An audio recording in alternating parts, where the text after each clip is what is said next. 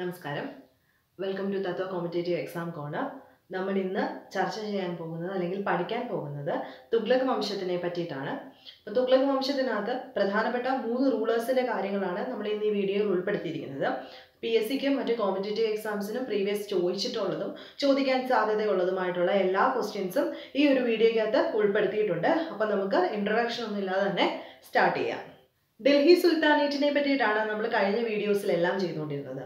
ആദ്യം തൊട്ടുള്ള അടിമ വംശം അതിനുശേഷം വന്ന ഖിൽജി വംശം അതിനുശേഷം വന്ന തുഗ്ലക് വംശത്തിനെ പറ്റിയിട്ട് അതായത് മൂന്നാമത്തെ ഡൽഹി സുൽത്താനേറ്റ് ഭരിച്ച മൂന്നാമത്തെ വംശമായ തുഗ്ലക് വംശത്തിനെ പറ്റിയിട്ടാണ് നമ്മൾ ഇന്ന് ഡിസ്കസ് ചെയ്യാൻ പോകുന്നതെന്ന് പറഞ്ഞു. ആദ്യത്തെ വീഡിയോയിൽ തന്നെ ഞാൻ പറഞ്ഞായിരുന്നു എന്ത് ഏറ്റവും കൂടുതൽ കാലം ഡൽഹി സുൽത്താനേറ്റ് ഭരിച്ച വംശമായിരുന്നു ആര്? തുഗ്ലക് വംശം എന്ന് പറയുന്നത്. ഇവരുടെ കാലഘട്ടം എന്ന് പറയുന്നത് ആയിരത്തി മുന്നൂറ്റി ഇരുപത് മുതൽ ആയിരത്തി നാനൂറ്റി പതിനാല് എ ഡി വരെയായിരുന്നു. തുർക്കി ആസ്ഥാനമായിട്ടുള്ള മുസ്ലിം കുടുംബത്തിൽപ്പെട്ടവരായിരുന്നു തുഗ്ലക്കുകൾ. തുഗ്ലക് വംശത്തിന്റെ സ്ഥാപകൻ എന്നറിയപ്പെടുന്നത് ഗിയാസുദ്ദീൻ തുഗ്ലക് ആയിരുന്നു അഥവാ ഖാസി മാലിക്. ഇദ്ദേഹത്തിന്റെ മറ്റൊരു പേരായിരുന്നു ഖാസി മാലിക്. ഈ ഗിയാസുദ്ദീൻ തുഗ്ലക്കിന്റെ പിതാവ് എന്ന് പറയുന്നത് തുർക്കി ഒറിജിൻ ബേസ് ചെയ്തിട്ടുള്ള ഒരു ആളും ഇദ്ദേഹത്തിന്റെ മാതാവ് എന്ന് പറയുന്നത് ജാഡ് വിഭാഗത്തിൽപ്പെട്ട പഞ്ചാബ് ബേസ് ചെയ്തിട്ടുള്ള ജാഡ് വിഭാഗത്തിൽപ്പെട്ട ഒരു സ്ത്രീയുമായിരുന്നു എന്ന് പറയപ്പെടുന്നു. ഇദ്ദേഹത്തിന്റെ മകനായിരുന്നു നമുക്ക് ഫേമസ് ആയിട്ട് അറിയാവുന്ന മുഹമ്മദ് ബിൻ തുഗ്ലക് അഥവാ ജുനാ ഖാൻ എന്ന് പറയുന്നത്. അപ്പം ഇവരുടെ ഏകദേശം കഥ സ്റ്റാർട്ട് ചെയ്യുന്നത് തുഗ്ലക് വംശം സ്റ്റാർട്ട് ചെയ്യുന്നത് ആയിരത്തി മുന്നൂറ്റി ഇരുപതിലാണെന്ന് പറഞ്ഞു. ആയിരത്തി മുന്നൂറ്റി ഇരുപത് മുതൽ ആയിരത്തി മുന്നൂറ്റി ഇരുപത്തി അഞ്ച് വരെയുള്ള ഒരു അഞ്ച് കൊല്ലം മാത്രമേ ആർക്ക് ഭരിക്കാൻ കഴിഞ്ഞുള്ളൂ? ഗിയാസുദ്ദീൻ തുഗ്ലക്കിന് ഭരിക്കാനായിട്ട് കഴിഞ്ഞുള്ളൂ. അതിന് ആ ഒരു ചുരുങ്ങിയ കാലയളവ് കൊണ്ട് തന്നെ ഡൽഹി കേന്ദ്രമായിട്ടുള്ള ഇവരുടെ ക്യാപിറ്റൽ ഡൽഹി ആണെന്ന് നമ്മൾ പറഞ്ഞു കഴിഞ്ഞു. പേർഷ്യൻ ആണ് ഇവരുടെ ഔദ്യോഗിക ഭാഷ. ഈ ചുരുങ്ങിയ കാലയളവ് കൊണ്ട് തന്നെ അതായത് ആയിരത്തി മുന്നൂറ്റി ഇരുപത് മുതൽ ആയിരത്തി മുന്നൂറ്റി ഇരുപത്തി അഞ്ച് വരെയുള്ള ഈ ചുരുങ്ങിയ കാലയളവിൽ തന്നെ നല്ല രീതിയിലുള്ള ഭരണം കാഴ്ചവെക്കാനായിട്ട് ഗിയാസുദ്ദീൻ തുഗ്ലക്കിന് കഴിഞ്ഞു. ആയിരത്തി മുന്നൂറ്റി ഇരുപത് മുതൽ ആയിരത്തി മുന്നൂറ്റി ഇരുപത്തി അഞ്ച് വരെ ഗിയാസുദ്ദീൻ തുഗ്ലക്കും ആയിരത്തി മുന്നൂറ്റി ഇരുപത്തി അഞ്ച് മുതൽ ആയിരത്തി മുന്നൂറ്റി അൻപത്തി ഒന്ന് വരെ അദ്ദേഹത്തിന്റെ മകനായ മുഹമ്മദ് ബിൻ തുഗ്ലക്ക്. ജുനാഖാൻ നമ്മൾ പറഞ്ഞു മുഹമ്മദ് ബിൻ തുഗ്ലക്കിന്റെ കാലമായിരുന്നെങ്കിൽ. അതിനുശേഷം അൻപത്തി ഒന്ന് മുതൽ ആയിരത്തി മുന്നൂറ്റി എൺപത്തി എട്ട് എ ഡി വരെ ഭരിച്ചിരുന്നത് വേറെ ഇതിന്റെ പിന്തുടർച്ചയായിട്ട് വന്ന ഫിറോസ് ഷാ തുഗ്ലക്കുമായിരുന്നു. ഈ മൂന്ന് പേരാണ് തുഗ്ലക് വംശത്തിലെ ഏറ്റവും പ്രഗത്ഭരായിട്ടുള്ള രാജാക്കന്മാരെന്ന് അറിയപ്പെടുന്നത്. ഈ മൂന്ന് പേരെ പറ്റിയിട്ടും പി എസ് സിയും മറ്റു കോമ്പറ്റേറ്റീവ് എക്സാംസിനും എല്ലാം റിപ്പീറ്റഡ് ആയിട്ട് ഒരുപാട് ഫാക്ട്സ് ചോദിച്ചു കാണാറുണ്ട്. ആ ഫാക്ട്സ് നമുക്ക് ഓരോന്നായിട്ട് എന്താണെന്ന് നോക്കാം. തുഗ്ലക് വംശത്തെ പറ്റി പറയുമ്പോൾ ആദ്യം സ്ഥാപകൻ ആരായിരുന്നു ഗിയാസുദ്ദീൻ തുഗ്ലക് ആയിരുന്നു ഇദ്ദേഹത്തിന്റെ യഥാർത്ഥ നാമമായിരുന്നു ഖാസി മാലിക്. ഭരണകാലഘട്ടം ആയിരത്തി മുന്നൂറ്റി ഇരുപത് മുതൽ ആയിരത്തി മുന്നൂറ്റി ഇരുപത്തി അഞ്ച് എ ഡി വരെ ആയിരുന്നു ഇവരുടെ ക്യാപിറ്റൽ അഥവാ തലസ്ഥാനം ഡൽഹി ആയിരുന്നു. ഔദ്യോഗിക ഭാഷ പേർഷ്യൻ ആയിരുന്നു. പിന്നെ ഡൽഹിയിൽ തുഗ്ലക്കാബാദ് എന്ന് പറയുന്ന സ്ഥലം സ്ഥാപിച്ചത്. ഒരു പട്ടണം സ്ഥാപിച്ചത് ആരാന്ന് ചോദിക്കുകയാണെങ്കിൽ അതാരായിരുന്നു? നമ്മുടെ ഗിയാസുദ്ദീൻ തുഗ്ലക് ആണ് ഗിയാസുദ്ദീൻ തുഗ്ലക്കിനെ പറ്റി പറയുമ്പോൾ ഒന്ന് തുഗ്ലക്കാബാദ് സ്ഥാപിച്ചു. രണ്ട് സദസ്സിൽ അദ്ദേഹത്തിന്റെ സദസ്സിൽ നൃത്തവും പാട്ടും നിരോധിച്ച ഭരണാധികാരി സദസ്സിൽ നൃത്തവും പാട്ടും നിരോധിച്ച ഭരണാധികാരി ആരാണെന്ന് ചോദിക്കുകയാണെങ്കിൽ ഗിയാസുദ്ദീൻ തുഗ്ലക്കാണ്. പിന്നീട് വാറങ്കലിന്റെ പേര് വാറങ്കലിന്റെ പേര് സുൽത്താൻപൂർ എന്നാക്കി മാറ്റി. ദെൻ പന്തൽ തകർന്നു വീണ വീണിട്ട് മരിച്ച ഭരണാധികാരി ആയിരത്തി മുന്നൂറ്റി ഇരുപത്തഞ്ച് ഏടിയിൽ പന്തൽ തകർന്നു വീണിട്ട് ഒരു ആക്സിഡന്റ് പറ്റി മരിച്ച ഭരണാധികാരിയായിരുന്നു ആര്? ഗിയാസുദ്ദീൻ തുഗ്ലക്. അപ്പൊ ഒന്നുകൂടെ പറയാം. ഗിയാസുദ്ദീൻ തുഗ്ലക്കാണ് തുഗ്ലക് ഇത് സ്ഥാപിച്ചത് വംശം. ഖാസി മാലിക് എന്നാണ് അദ്ദേഹത്തിന്റെ യഥാർത്ഥ പേര്. ആയിരത്തി മുന്നൂറ്റി ഇരുപത് മുതൽ ആയിരത്തി മുന്നൂറ്റി ഇരുപത്തി അഞ്ച് ഡി വരെയായിരുന്നു ഭരണകാലഘട്ടം ദെൻ തുഗ്ലക്കാബാദ് ഡൽഹിയിൽ സ്ഥാപിക്കുന്നത് ഖിയാസുദ്ദീൻ മാലിക് ആയിരുന്നു. പന്തൽ തകർന്നു വീണ് മരിച്ചത് ഇദ്ദേഹമാണ്. വാറങ്കലിന്റെ പേര് സുൽത്താൻപൂർ എന്നാക്കി മാറ്റി. പിന്നെ പാട്ടും നൃത്തവും സദസ്സിൽ നിരോധിച്ച ആളും ആരാണ്? ഖിയാസുദ്ദീൻ മാലിക് ഖാസി മാലിക് അഥവാ ഖിയാസുദ്ദീൻ തുഗ്ലക് ആണ് നെക്സ്റ്റ് ഭരണാധികാരിയായിരുന്നു മുഹമ്മദ് ബിൻ തുഗ്ലക് എന്ന് പറഞ്ഞു. ആരുടെ മകനായിരുന്നു? നമ്മുടെ ഗിയാസുദ്ദീൻ തുഗ്ലക്കിന്റെ മകനായിരുന്നു. ആയിരത്തി മുന്നൂറ്റി ഇരുപത്തഞ്ചിൽ ഇദ്ദേഹം പന്തൽ തകർന്ന് മരിച്ചതിന് ശേഷം ആര് വരുന്നു നമ്മുടെ മുഹമ്മദ് ബിൻ തുഗ്ലക്ക് വരുന്നു. ആയിരത്തി മുന്നൂറ്റി ഇരുപത്തഞ്ച് മുതൽ ആയിരത്തി മുന്നൂറ്റി അൻപത്തി ഒന്ന് എ ഡി വരെയായിരുന്നു ഇദ്ദേഹത്തിന്റെ കാലഘട്ടം. ഇദ്ദേഹത്തിനെ പറ്റിയിട്ട് കുറച്ച് ഡീറ്റെയിൽഡ് ആയിട്ട് കുറേ ഫാക്ട്സ് നമുക്ക് പഠിക്കാനുണ്ട്. കാരണം എന്താണെന്ന് വെച്ച് കഴിഞ്ഞാൽ തുഗ്ലക് വംശത്തിലെ നല്ല പ്രസിദ്ധനായിട്ട് അറിയപ്പെടുന്ന ഒരാളാണ് മുഹമ്മദ് ബിൻ തുഗ്ലക്. ഇദ്ദേഹത്തിനെ പറ്റിയിട്ട് നമ്മുടെ സിനിമയിൽ ഒരു സിനിമ നിങ്ങൾ കണ്ടിട്ടുണ്ടായിരിക്കും മാണിക്യക്കല്ലിനകത്ത് പറയുന്നുണ്ട് അല്ലേ? തുഗ്ലക് പരിഷ്കാരം അല്ലെങ്കിൽ തുഗ്ലക്കിന്റെ എന്തോ ഒരു ടേം പറഞ്ഞിട്ട് പറയുന്നുണ്ട് അതിനകത്ത് പിള്ളേർ കളിയാക്കാനായിട്ട് എഴുതി വെക്കത്തില്ലേ? അപ്പം തുഗ്ലക്കിനെ പറ്റിയിട്ട് ഫേമസ് ആയിട്ട് അറിയപ്പെടുന്നത് മുഹമ്മദ് ബിൻ തുഗ്ലക്കിന്റെ കാര്യമാണ്. കാരണം എന്താണെന്ന് വെച്ച് കഴിഞ്ഞാൽ ഇദ്ദേഹം പ്രഗത്ഭനായിരുന്നു ബുദ്ധിശാലിയായിരുന്നു പേർഷ്യൻ അറബിക് തുടങ്ങിയ എല്ലാ ഭാഷകളും ഇദ്ദേഹത്തിന് അറിയായിരുന്നു. പിന്നെ പറയേണ്ടത് ഇദ്ദേഹത്തിന് ഫിലോസഫി ആയാലും ഫിസിക്കൽ സയൻസ് ആയാലും മാത്തമാറ്റിക്സിനെ പറ്റിയിട്ടായാലും ജ്യോതിഷത്തിനെ പറ്റിയിട്ടായാലും എല്ലാം അപാര നോളജ് ആയിരുന്നു. പക്ഷേ ഇദ്ദേഹം മുന്നിലോട്ട് ചിന്തിക്കാതെ അത് എന്തായിരിക്കും എന്റെ എൻഡ് റിസൾട്ട് എന്ന് ചിന്തിക്കാതെ എടുക്കുന്ന പല ഡിസിഷൻസും ഇദ്ദേഹത്തിന് എന്താ തിരിച്ചടിയായിട്ട് വന്നിട്ടുള്ളത് കൊണ്ട് തന്നെ തുഗ്ലക്കിന്റെ പരിഷ്കാരങ്ങൾ എന്ന് വെച്ച് കഴിഞ്ഞാൽ തുഗ്ലക്കിനെ പോലെ ആയിപ്പോയി നിർഭാഗ്യവാനായിട്ടുള്ള വിഡ്ഢിയെന്നും ഒക്കെ പല പല പ്രഗത്ഭരായിട്ടുള്ള ആൾക്കാരും ഇദ്ദേഹത്തിനെ വിശേഷിപ്പിച്ചിട്ടുണ്ട്. വേറൊന്നും കൊണ്ടല്ല എടുക്കുന്ന തീരുമാനങ്ങൾ ചിലപ്പോഴൊക്കെ തെറ്റിപ്പോകാറുണ്ടായിരുന്നു. അതിന് പ്രധാനമായിട്ടും പറയുന്ന ഒന്ന് രണ്ട് ഫാക്ട്സ് എന്ന് പറയുന്നത് ടോക്കൺ കറൻസി ആദ്യമായിട്ട് നമ്മുടെ ഇന്ത്യയിൽ ടോക്കൺ കറൻസി കൊണ്ടുവന്നത് മുഹമ്മദ് ബിൻ തുഗ്ലക്കാണ്. ഈ ടോക്കൺ കറൻസി കൊണ്ടുവരുന്നത് അന്ന് ഇറാഖിലും ചൈനയിലും എല്ലാം ഈ ഒരു ടോക്കൺ കറൻസി നിലവിൽ വന്നായിരുന്നു. അതിന് അതിന്റെ പേരിൽ എടുത്തു ചാടിയെടുത്ത തീരുമാനമാണോ ടോക്കൺ കറൻസി എന്ന് പോലും പിന്നീട് പലപ്പോഴും ചിന്തിക്കേണ്ടി വന്നിട്ടുണ്ട്. ഇദ്ദേഹത്തിന്റെ കാലത്താണ് പ്രസിദ്ധനായിട്ടുള്ള ഒരു ട്രാവലർ സഞ്ചാരിയായിരുന്ന ഇബുനു ബത്തൂത്ത. കേട്ടിട്ടുണ്ടായിരിക്കും. എ ഡി ആയിരത്തി മുന്നൂറ്റി മുപ്പത്തി മൂന്നിലാണ് ആദ്യമായിട്ട് ഇന്ത്യയിൽ മൊറോക്കോ ബേസ് ചെയ്തിട്ടുള്ള ഒരു ട്രാവലർ ആയിരുന്നു. ഇബ്നു ബത്തോദയുടെ പല പുസ്തകങ്ങളിലും മുഹമ്മദ് ബിൻ തുഗ്ലക്കിനെ പറ്റിയിട്ട് ഡീറ്റെയിൽഡ് ആയിട്ട് പറഞ്ഞിട്ടുണ്ട്. പിന്നീട് പല കാര്യങ്ങളും ഞാൻ പോയിന്റ് വൈസ് എഴുതിയിട്ടുണ്ട്. പല കാര്യങ്ങളും ഇദ്ദേഹത്തിന്റെ സദസ്സിലും അല്ലെങ്കിൽ ഇദ്ദേഹത്തിന്റെ കാലഘട്ടത്തിലും ഉണ്ടായിട്ടുണ്ട്. കൃഷി വകുപ്പ് ആരംഭിച്ചത്. ഇന്ത്യയിൽ ആദ്യമായിട്ട് കൃഷി വകുപ്പ് ആരംഭിക്കുകയും അതിനു വേണ്ടിയിട്ട് ലോൺ കൊടുക്കുക. അതിനു വേണ്ടിയിട്ട് ഒരു പ്രത്യേക ഒരു ഉദ്യോഗസ്ഥന്മാരെ നിയമിക്കുകയും ലോൺ അനുവദിക്കുകയും ഒക്കെ ഇദ്ദേഹം ചെയ്തെങ്കിലും ആ സമയത്ത് തന്നെ എന്ത് വരുന്നു? ആ സമയത്ത് ഒരു വരൾച്ച കഠിനമായിട്ടുള്ള ഒരു വളർച്ച. എപ്പ എവിടാണോ പ്രത്യേകിച്ച് എടുത്തു പറയുകയാണെങ്കിൽ ഈ ദോബ് ഉണ്ടല്ലോ ഈ രണ്ട് നദികൾ ചേരുന്ന ആ ഒരു സ്ഥലം. ആ ഒരു സ്ഥലത്ത് എന്ന് പറഞ്ഞു കഴിഞ്ഞാൽ നമുക്കറിയാം ഫെർട്ടിലിറ്റി കൂടിയ മണ്ണാണ്. അവിടെ കൃഷി ചെയ്യുകയാണെങ്കിൽ ഇരട്ടിയായിട്ട് നമുക്ക് വിളകൾ കിട്ടും അല്ലെ? കൃഷിയുടെ ലാഭം എന്ന് പറയുന്നത് ഇരട്ടിയായിരിക്കും. അപ്പൊ കർഷകരെല്ലാം എന്താ ചെയ്യുന്നതെന്ന് വെച്ച് കഴിഞ്ഞാൽ എക്സ്ട്രാ ആയിട്ട് ടാക്സ് കൊടുത്തിട്ട് ഈ സ്ഥലം കൃഷി ചെയ്യാനായിട്ട് വാങ്ങിച്ചു. പക്ഷെ ആ കൊല്ലം എന്ന് പറയുന്നത് എന്താണ്?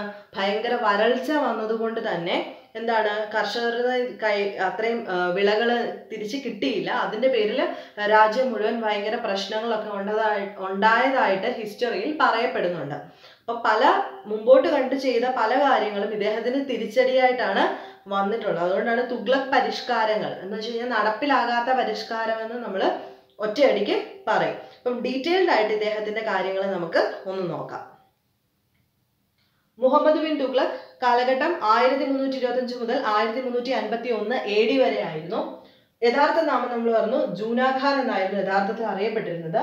ഇന്ത്യയിൽ ടോക്കൺ കറൻസി സമ്പ്രദായം ആദ്യമായി നടപ്പിലാക്കിയത് ഇദ്ദേഹമാണ്. സ്വർണ നാണയങ്ങൾക്ക് പകരം ചെമ്പു നാണയങ്ങൾ കൊണ്ട് നൂറ്റി എഴുപത്തഞ്ച് ഗ്രെയിൻ അങ്ങനെ ധാന്യങ്ങളുടെ വാല്യൂ ആയിരുന്നു അന്ന് ഉണ്ടായിരുന്നു അതിനെയെല്ലാം മാറ്റി പുതിയ എന്ത് കൊണ്ടുവന്നു? ചെമ്പ് നാണയങ്ങൾ പ്രചരിപ്പിച്ച ആളായിരുന്നു നമ്മുടെ ജൂനാഖാൻ നാണയ നിർമ്മാതാക്കളുടെ രാജകുമാരൻ ഇത് റിപ്പീറ്റഡ് ആയിട്ട് ചോദിച്ചിട്ടുള്ളതാണ് പി എസ് നാണയ നിർമ്മാതാക്കളുടെ രാജകുമാരൻ എന്ന് മുഹമ്മദ് ബിൻ തുഗ്ലക്കിനെ അഭിസംബോധന ചെയ്തത് എഡ്വേർഡ് ടനാസ് എന്ന് പറയുന്ന ആളായിരുന്നു. നാണയ നിർമ്മാതാക്കളുടെ രാജകുമാരൻ എന്ന് വിശേഷിപ്പിക്കുന്നത് ആരാണ്? ആരെ പറ്റിയാ മുഹമ്മദ് ബിൻ തുഗ്ലക്കിനെ പറ്റിയാണ്. നിർഭാഗ്യവാനായ ആദർശവാദി. നാളെ നിർമ്മാതാക്കളുടെ രാജകുമാരൻ നിർഭാഗ്യവാനായ ആദർശവാദി എന്നറിയപ്പെടുന്നതും മുഹമ്മദ് ബിൻ തുഗ്ലക് അങ്ങനെ വിശേഷിപ്പിച്ചത് ഇബുനു ബത്തൂത്തയാണ്. ഞാൻ പറഞ്ഞു ഇബുനു ബത്തൂത്ത ഇന്ത്യയിലേക്ക് വരുന്നത് എ ഡി ആയിരത്തി മുന്നൂറ്റി എ ഡി ആയിരത്തി മുന്നൂറ്റി മുപ്പത്തി മൂന്നിലാണ്. ഈ സമയത്ത് ഇന്ത്യ ഭരിച്ചിരുന്നത് ഡൽഹി സുൽത്താനേറ്റ് ഭരിച്ചിരുന്നത് മുഹമ്മദ് ബിൻ തുഗ്ലക് ആയിരുന്നു ഇത് ഒരു പ്രീവിയസ് ക്വസ്റ്റ്യൻ ആണ്. ഇബിനു ബത്തൂത്ത ഇന്ത്യയിൽ വരുമ്പം ഇന്ത്യ ഭരിച്ചിരുന്ന ആരായിരുന്നു? മുഹമ്മദ് ബിൻ തുഗ്ലക് ആയിരുന്നു പിന്നെ ബുദ്ധിമാനായ വിഡ്ഢി അതും ഓർത്തോണം. മൂന്ന് കാര്യങ്ങളാണ് നാണയ നിർമ്മാതാക്കളുടെ രാജകുമാരൻ എന്നറിയപ്പെടുന്നതും പിന്നെ നിർഭാഗ്യവാനായ ആദർശവാദി എന്നറിയപ്പെടുന്നതും ബുദ്ധിമാനായിട്ടുള്ള വിഡ്ഢി എന്നറിയപ്പെടുന്നതും ആരെ തന്നെയാണ്? മുഹമ്മദ് ബിൻ തുഗ്ലക്കിനെ തന്നെയായിരുന്നു ബുദ്ധിമാനായ വിഡ്ഢി എന്ന് ഇദ്ദേഹത്തിനെ വിളിച്ചത് വിൻസൻ ടോം വിൻസൻ സ്മിത്ത് ആണെന്നും ഓർത്തോണം. ഇനി നോക്കിക്കേ. തലസ്ഥാനം ഡൽഹിയിൽ നിന്നും ദേവഗിരിയിലേക്ക് മാറ്റിയത്. ഇതും ഇദ്ദേഹത്തിന്റെ മണ്ടത്തരമാണെന്ന് പറഞ്ഞു കേൾക്കുന്നുണ്ട്. തലസ്ഥാനം ഡൽഹിയിലായിരുന്നല്ലോ അതുവരെ. അവിടെ നിന്നും ദേവഗിരിയിലേക്ക് മാറ്റുകയും പിന്നീട് തെറ്റിപ്പോയി എന്ന് മനസ്സിലാക്കിയിട്ട് ദേവഗിരിയിൽ നിന്നും തിരിച്ച് ഡൽഹിയിലേക്ക് മാറ്റിയതായിട്ടും പറയപ്പെടുന്നു. അതാരാണ്? ഇപ്പൊ തലസ്ഥാനം ദേവഗിരിയിലേക്ക് മാറ്റിയതും തിരിച്ച് ഡൽഹിയിലോട്ട് കൊണ്ടുവന്നതും മുഹമ്മദ് ബിൻ തുഗ്ലക് ആണ് പണി കഴിപ്പിച്ച നഗരത്തിന്റെ പേരാണ് ജഹൽപന. എന്താ ജഹൽപന എന്ന നഗരം പണി കഴിപ്പിച്ചത് മുഹമ്മദ് ബിൻ തുഗ്ലക് ആണ് അപ്പൊ ഇത്രയും പോയിന്റ്സ് ഒന്ന് നോട്ട് ചെയ്ത് വെച്ചോണം. യഥാർത്ഥ നാമം ഇന്ത്യയിൽ ടോക്കൺ കറൻസി ആദ്യമായിട്ട് കൊണ്ടുവന്നു. ചെമ്പ് നാണയങ്ങൾ സ്വർണ നാണയങ്ങൾക്ക് പകരം ചെമ്പ് നാണയം കൊണ്ടുവന്നു. നാണയ നിർമ്മാതാക്കളുടെ രാജകുമാരൻ നിർഭാഗ്യവാനായിട്ടുള്ള ആദർശവാദി ബുദ്ധിമാനായിട്ടുള്ള വിഡ്ഢി എന്നറിയപ്പെടുന്നതും ആരെ പറ്റിയിട്ടാണ്? നമ്മുടെ മുഹമ്മദ് ബിൻ തുഗ്ലക്കിനെ പറ്റിയിട്ടാണ്. ജഹൽപന എന്ന നഗരം പണി കഴിപ്പിച്ചു. ഡൽഹിയിൽ നിന്നും തലസ്ഥാനം എങ്ങോട്ട് മാറ്റി? ദേവഗിരിയിലേക്ക് മാറ്റി. നെക്സ്റ്റ് പോയിന്റ് എന്ന് പറയുന്നത് കൃഷി വകുപ്പ് ആരംഭിച്ചത് ഇദ്ദേഹമാണ്. ആ കൃഷി വകുപ്പിനെ അറിയപ്പെടുന്ന പേരാണ് ദിവാൻ ഇ കോഹി. എന്നാ ദിവാൻ ഇ കോഹി എന്ന് പറഞ്ഞ കൃഷി വകുപ്പ് അഗ്രികൾച്ചറൽ ഡിപ്പാർട്ട്മെന്റ് ഇദ്ദേഹമാണ് തുടങ്ങിയത്. ദെൻ കൃഷിക്ക് വേണ്ടിയിട്ട് പ്രത്യേക ലോൺ ആരംഭിച്ചു. കൃഷിക്ക് വേണ്ടിയിട്ട് സഹായിക്കാൻ വേണ്ടിയിട്ട് പ്രത്യേക ലോൺ ആരംഭിക്കുകയും ഈ ലോൺ കൊടുക്കാൻ വേണ്ടിയിട്ട് മേൽനോട്ടം വഹിക്കാനായിട്ട് ഒരു ഉദ്യോഗസ്ഥരെ നിയമിച്ചു. ആ ഉദ്യോഗസ്ഥരുടെ പേരാണ് ഷിഗ്ദാർ എന്ന ഉദ്യോഗസ്ഥരെ നിയമിച്ചു. പിന്നീട് ഇത് എടുത്തു മാറ്റിയെങ്കിലും ഈ ഒരു ഷിഗ്ദാർ എന്ന് പറയുന്ന ഒരു ഉദ്യോഗസ്ഥ ബന്ധത്തിന് നമ്മൾ മുഗൾ ഭരണാധികാരികളുടെ കാര്യം വരുമ്പോൾ അവർ ഇതേ ഒരു പ്രോസസ്സ് തുടർന്ന് പോയിക്കൊണ്ടിരുന്നു. അപ്പൊ ഷിഗ്ദാർ എന്ന് പറയുന്ന ആരായിരുന്നല്ലോ? കൃഷിക്ക് വേണ്ടിയിട്ട് മുഹമ്മദ് ബിൻ തുഗ്ലക്ക് ലോൺ ആരംഭിച്ചു. അതിന് മേൽനോട്ടം വഹിക്കാനായിട്ട് അപ്പോയിന്റ് ചെയ്തിരുന്ന മേലധികാരികളുടെ പേരാണ് ഷിഗ്ദാർ എന്ന് പറയുന്നത്. ഇനി കക്കാടിയ ഭരണാധികാരിയായിരുന്ന പ്രതാപരുദ്രദേവൻ രണ്ടിനെ തോൽപ്പിച്ചതായിട്ടും ഹിസ്റ്ററിയിൽ പറയുന്നുണ്ട്. അപ്പൊ ഈ ഒരു പേരൊന്നും പ്രതാപരുദ്രദേവൻ ടൂവിനെ തോൽപ്പിച്ചത് ആരായിരുന്നു ചോദിക്കുകയാണെങ്കിൽ തുഗ്ലക് വംശത്തിലെ മുഹമ്മദ് ബിൻ തുഗ്ലക് ആയിരുന്നു എന്ന് ഓർത്തിരിക്കുക. പിന്നീട് ഇബിനു ബത്തൂത്തയുടെ കാര്യം ഞാൻ പറഞ്ഞു. ഇബിനു ബത്തൂത്തയുടെ പറ്റിയിട്ട് ഒരു ക്വസ്റ്റ്യൻ കണ്ടതെന്ന് വെച്ച് കഴിഞ്ഞാൽ ഇബിനു ബത്തൂത്ത എന്ന ട്രാവലർ എവിടുത്തുകാരനായിരുന്നു എന്നുള്ള ഒരു ക്വസ്റ്റ്യൻ കണ്ടിട്ടുണ്ട്. അത് അദ്ദേഹം എവിടുത്തുകാരൻ മൊറോക്കോ ബേസ് ചെയ്തിട്ടുണ്ടായിരുന്ന ഒരു ട്രാവലർ എന്ന മൊറോക്കോ ബേസ് ചെയ്തിട്ടുണ്ടായിരുന്ന ഒരു ട്രാവലർ ആയിരുന്നു എന്ന് ആലോചിക്കുക ഇനി തിമൂർ തിമൂർ ആരായിരുന്നു? മംഗോളിയൻസിന്റെ ഹെഡായിരുന്നു എന്നറിയാം തിമൂർ എ ഡി ആയിരത്തി മുന്നൂറ്റി നാൽപ്പത്തി ഒന്നിൽ ഇന്ത്യയിൽ എത്തിയതായിട്ട് പറയപ്പെടുന്നുണ്ട്. എ ഡി ആയിരത്തി മുന്നൂറ്റി നാൽപ്പത്തി ഒന്നിൽ തിമൂർ ഇന്ത്യയിൽ എത്തുകയും ഇന്ത്യയിലെ ബുദ്ധവിഹാരങ്ങൾ പുനർനിർമ്മിക്കാനായിട്ട്. അതായത് ബുദ്ധവിഹാരങ്ങൾ എന്ന് പറഞ്ഞു കഴിഞ്ഞാൽ നമ്മുടെ അറിയാമല്ലോ നമ്മുടെ ഹിമാലയത്തിന്റെ താഴെ ഉണ്ടായിരുന്ന ബുദ്ധവിഹാരങ്ങൾ അതിനു മുമ്പ് ഒന്ന് ആക്രമിക്കപ്പെട്ടായിരുന്നു. അത് ഒന്നുകൂടെ പുനർനിർമ്മിക്കാൻ വേണ്ടിയിട്ടുള്ള അനുവാദത്തിനായിട്ട് തിമൂർ ആയിരത്തി മുന്നൂറ്റി നാൽപ്പത്തി ഒന്നിൽ ഇന്ത്യയിലെത്തി കണ്ടത് ആരെയാണെന്ന് ചോദിക്കുകയാണെങ്കിൽ മുഹമ്മദ് ബിൻ തുഗ്ലക്കിനെയാണ് കണ്ടത്. ഇദ്ദേഹം അത് പുനർനിർമ്മിച്ചു കൊടുക്കുകയും ചെയ്തു എന്ന് ഹിസ്റ്ററിയിൽ പറയുന്നുണ്ട്. ഇനി പാഗൽ പാദുഷ എന്നറിയപ്പെടുന്നത് ആരാണെന്ന് ചോദിക്കുവാണെങ്കിലും മുഹമ്മദ് ബിൻ തുഗ്ലക് ആണ്. അപ്പം നമ്മൾ പറഞ്ഞു പല കാര്യങ്ങളും ഇദ്ദേഹം തീരുമാനിച്ചിരുന്നതെങ്കിലും ഇതിനെല്ലാം എന്താണ് ഓപ്പോസിറ്റ് ആണ് അദ്ദേഹം പ്രതീക്ഷിച്ചതിന് ഓപ്പോസിറ്റ് ആയിട്ടാണ് പല കാര്യങ്ങളും വന്നത്. പിന്നെ എടുത്തു പറയേണ്ടതെന്ന് പറഞ്ഞു കഴിഞ്ഞാൽ നല്ല അറിവുള്ള ഒരു മനുഷ്യനായിരുന്നു. പേർഷ്യനും അറബിക്കും ഒക്കെ നന്നായിട്ട് സംസാരിക്കാൻ കഴിവുള്ളതും എല്ലാത്തിനെ പറ്റിയിട്ടും നല്ല പാണ്ഡിത്യം ഉണ്ടായിരുന്ന ആളായിരുന്നു നമ്മുടെ മുഹമ്മദ് ബിൻ തുഗ്ലക് എന്ന് പറയുന്നത്. ഈ പറഞ്ഞ പോയിന്റ്സ് ഒന്നും ഒഴിവാക്കി കളയരുത്. ഈ പറഞ്ഞ പോയിന്റ്സ് ആയിട്ട് പഠിക്കുക. ഉറപ്പായിട്ടും ഈ ഒരു ഭാഗത്ത് നിന്ന് ക്വസ്റ്റ്യൻ വരികയാണെങ്കിൽ ഇതിനകത്തുനിന്ന് ഒരു ക്വസ്റ്റ്യൻ ഉറപ്പാണ്. അടുത്ത ആൾ ഫിറോസ് ഷാ തുഗ്ലക് ആണ്. മുഹമ്മദ് ബിൻ തുഗ്ലക്കിന് ശേഷം വന്ന ആളായിരുന്നു ഫിറോസ് ഷാ തുഗ്ലക്ക് ഇദ്ദേഹത്തെ പറ്റി പറയുകയാണെങ്കിൽ നമുക്ക് പ്രധാനപ്പെട്ട ഒരു കാര്യം ഓർക്കേണ്ടത് കരാർ വഴിയുള്ള സംവി ഗതാഗത സംവിധാനം.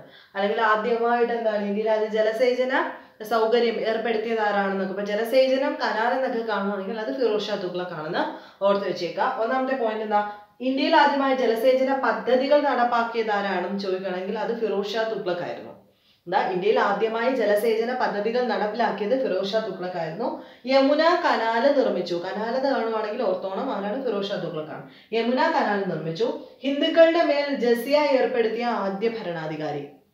മുസ്ലിങ്ങളുടെ അല്ല ഹിന്ദുക്കളുടെ മേൽ ജസിയ എന്ന് വെച്ച് കഴിഞ്ഞാൽ എന്താ മതനികുതിയായിട്ട് ജസിയ ഏർപ്പെടുത്തിയ ആദ്യത്തെ ഭരണാധികാരിയായിരുന്നു ഫിറോസ് ഷാ തുഗ്ലക് ഇപ്പം അടുത്തത് കുത്തബ് മിനാറിന്റെ നാലാമത്തെ നില പുനർനിർമ്മിച്ചു. നാലാമത്തെ നില മിന്നലേറ്റ് നശിച്ചു പോയപ്പം അതിനെ പുനർനിർമ്മിച്ചത് ആരാണെന്ന് ചോദിക്കുവാണെങ്കിൽ അത് ഫിറോസ് ഷാ തുഗ്ലക് നാലാമത്തെ നില ആരുടെ? കുത്തബ് മിനാറിന്റെ നാലാമത്തെ നില പുനർനിർമ്മിച്ചത് ആരാണെന്ന് ആരായിരുന്നു കുത്തബ് മിനാർ തുടങ്ങി വെച്ചതെന്ന് ഓർമ്മയുണ്ടല്ലോ? അടിമ വംശത്തിലെ കുത്തബ്ദീൻ ഐബക് ആരായിരുന്നു പുനർനിർമ്മിച്ചതെന്ന് ഓർമ്മ അതിന്റെ ലാസ്റ്റ് പൂർത്തീകരിച്ചതെന്ന് ഓർമ്മയുണ്ടായിരുന്നല്ലോ? ഇൽത്തുമിഷ് ആണ് മറന്നു പോയിട്ടില്ലല്ലോ? അപ്പം കുത്തബ് മിനാറിന്റെ നാലാമത്തെ നില മിന്നലേറ്റ് നശിച്ചു പോയപ്പോൾ അത് പുനർനിർമ്മിച്ചത് ഫിറോസ് ഷാ തുഗ്ലക് ആണ്. ഇനി ഇന്ത്യയിൽ കനാൽ വഴിയുള്ള ഗതാഗതം ആദ്യമായി നടപ്പിലാക്കി. എന്താ? കനാല് കനാൽ അല്ലെ? ജലസേചന പദ്ധതി യമുന കനാല് ദെൻ ഇന്ത്യയിൽ കനാൽ വഴിയുള്ള ഗതാഗതം ആദ്യമായിട്ട് നടപ്പിലാക്കിയത് ഫിറോസ് ഷാ തുഗ്ലക്കാണ് പണി കഴിപ്പിച്ചത് എടുത്തു ചോദിക്കുന്നത് എപ്പോഴും ഫിറോസാബാദ് പണി കഴിപ്പിച്ചതും അതുപോലെ ഫിറോസ് ഷാ കോട്ട പണി കഴിപ്പിച്ചതും എളുപ്പമല്ലേ? ഫിറോസ് ഫിറോസ്. ഫിറോസ് ഷാ കോട്ട പണി കഴിപ്പിച്ചതും ഫിറോസ് ഷാ തുഗ്ലക് ആയിരുന്നു ഇനി താരിഖ് ഇ ഫിറോസ് ഷാഹി എന്ന് പറയുന്നത് ഇദ്ദേഹത്തിന്റെ സംഭാവനയാണ്. താരിഖ് ഇ ഫിറോസ് ഷാഹി എന്ന് പറയുന്നത് ഇദ്ദേഹത്തിന്റെ സംഭാവനയാണ്. ഇത്രയാണ് ഇദ്ദേഹത്തിനെ പറ്റിയിട്ട് എപ്പോഴും ചോദിച്ചു കാണാറുള്ളത്. ഇത്രയുള്ള ഇമ്പോർട്ടന്റ് ആയിട്ട് ഓർത്ത് വെക്കേണ്ട പോയിന്റ് ജസ്റ്റ് ഒന്ന് നോട്ട് ചെയ്ത് വെക്കുക ഇനി നമുക്കറിയാനുള്ള ലാസ്റ്റ് റൂളർ നസറുദ്ദീൻ മുഹമ്മദ് ഷാ ആണ് നമ്മുടെ തുഗ്ലക് ഡൈനാസ്റ്റിയുടെ ലാസ്റ്റ് റൂളർ ഇദ്ദേഹത്തിന്റെ കാലത്ത് തിമൂർ മംഗോളിയൻ ഹെഡായിട്ടുള്ള തിമൂർ ആയിരത്തി മുന്നൂറ്റി തൊണ്ണൂറ്റി നാലിൽ ഇന്ത്യ ആക്രമിച്ചെന്നും പിടിച്ച് ക്യാപ്ചർ ഡൽഹി പിടിച്ചെടുത്തെന്നും പറയപ്പെടുന്നുണ്ട്. അപ്പൊ ലാസ്റ്റ് റൂളറിനെയും കൂടെ ഒന്ന് ഓർത്ത് വെച്ചിരിക്കുക. അപ്പൊ നമ്മൾ ഇന്നത്തെ ക്ലാസ്സിൽ പഠിച്ചത് എന്തൊക്കെയായിരുന്നു? തുഗ്ലക് വംശം. ആയിരത്തി മുന്നൂറ്റി ഇരുപത് മുതൽ ആയിരത്തി നാനൂറ്റി പതിനാല് എ ഡി വരെ ഭരിച്ച ഡൽഹി സുൽത്താനേറ്റ് ഭരിച്ച രാജവംശമായിരുന്നു തുഗ്ലക് വംശം. പ്രധാനപ്പെട്ട മൂന്ന് ഭരണാധികാരികൾ ആരൊക്കെയായിരുന്നു? ഗിയാസുദ്ദീൻ തുഗ്ലക് സെക്കൻഡ് വൺ മുഹമ്മദ് ബിൻ തുഗ്ലക് മൂന്നാമത് ഫിറോഷ തുഗ്ലക്. അപ്പൊ ഈ മൂന്ന് പേരുടെയും ഡീറ്റെയിൽസ് പറഞ്ഞ കാര്യങ്ങൾ വിട്ടുകളയാതിരിക്കാനായിട്ട് ശ്രമിക്കുക. ഇമ്പോർട്ടന്റ് ആയിട്ടുള്ള പോയിന്റ്സ് മാത്രമേ പറഞ്ഞിട്ടുള്ളൂ. വായിച്ച് വായിച്ച് വിടുക. എല്ലാം ഇമ്പോർട്ടന്റ് ആണ്. ഒന്നും ഒഴിവാക്കി കളയേണ്ടതല്ല. അപ്പൊ വൃത്തിയായിട്ട് പഠിക്കുക. നെക്സ്റ്റ് ക്ലാസ്സിൽ നമുക്ക് ഇനി തീർക്കാനുള്ളത് സയ്യിദ് വംശവും ലോധി വംശവും കൂടെ തീർന്നു കഴിഞ്ഞാൽ നമ്മുടെ ഡൽഹി സുൽത്താനേറ്റ് കംപ്ലീറ്റ് ആവും. പിന്നെ നമുക്ക് മുഗൾസിലോട്ട് തുടങ്ങാം. അപ്പോൾ നിങ്ങൾക്ക് ക്ലാസ്സുകൾ ഇഷ്ടമാവുന്നുണ്ടെങ്കിൽ ലൈക്ക് ചെയ്യുക ഷെയർ ചെയ്യുക സബ്സ്ക്രൈബ് ചെയ്യുക. സബ്സ്ക്രൈബ് ചെയ്യുമ്പോൾ ബെൽ നോട്ടിഫിക്കേഷൻ കിട്ടാൻ ബെൽ ബട്ടൺ അമുക്കുക നോട്ടിഫിക്കേഷൻ കിട്ടാൻ വേണ്ടിയിട്ട്. അപ്പോൾ നെക്സ്റ്റ് ക്ലാസ്സിൽ കാണുന്നത് വരെ നമസ്കാരം.